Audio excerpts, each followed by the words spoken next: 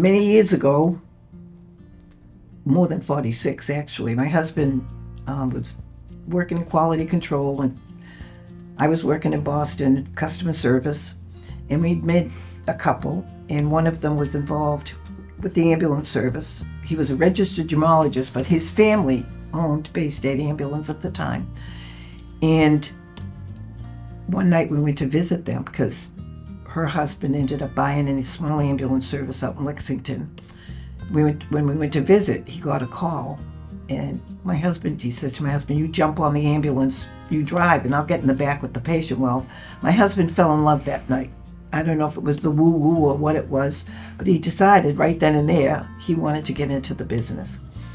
So he became an EMT. We happened to be at Riverside Park, it was in August, the beginning of August of 1977. There was a one line ad in the Boston Globe ambulance service for sale. We owned it the next day. We started with two ambulances, three people, basically, and on the way we went. At that point, the state told us we had to select one name. So we, instead of using the name Somerville, we used the name, that's how the name Cataldo Ambulance got, was born.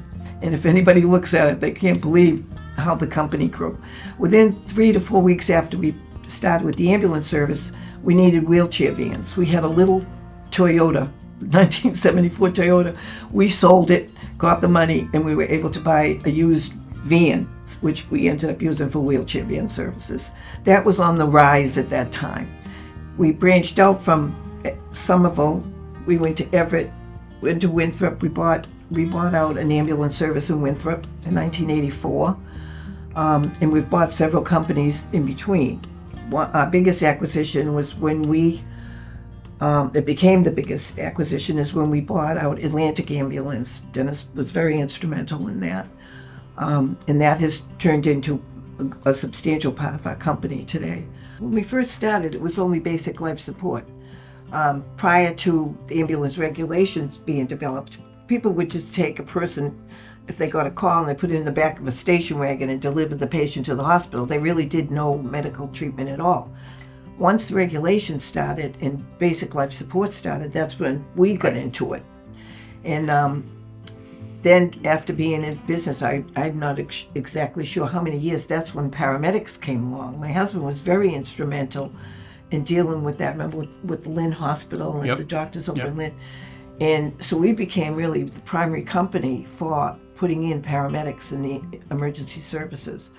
Um, we were really in the forefront on that one. Well, you know, there's there's several things. I mean, one, uh, like Diane talked about with the paramedics.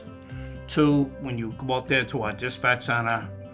Three, with innovation, uh, home healthcare, uh, uh, and it's just it's just continued to, to jump and grow. EMS is a lot different than it was X amount of years ago. I think because of us always wanting to make sure, we always tell that every employee, you treat every single patient as if it was your mother that you're treating, our family member. And I think because of that, it's become that level of excellence. And I think um, our employees know that what, what we want to do and how we want to maintain it. I would say we don't always want to be the biggest. We want to be the best. And we want to, we always strive, and Dennis was a big supporter of this, of clinical excellence and patient care. And we're still that way to this day. I can't tell you how proud I am of this company and how big it got. We've never, to this day, ever shut down one day. Not one day, not one hour, not anything. We've been, ever since 1977, we have run. And it's not a business that at 5 o'clock at night you can shut your door, go home.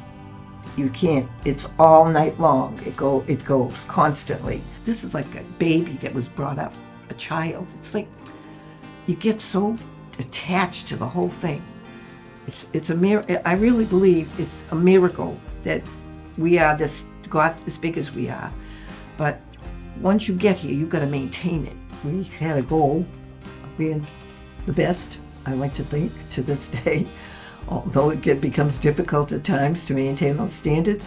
But I think we've accomplished everything, and I believe a lot more than we ever ever thought. I never thought we would be to this size.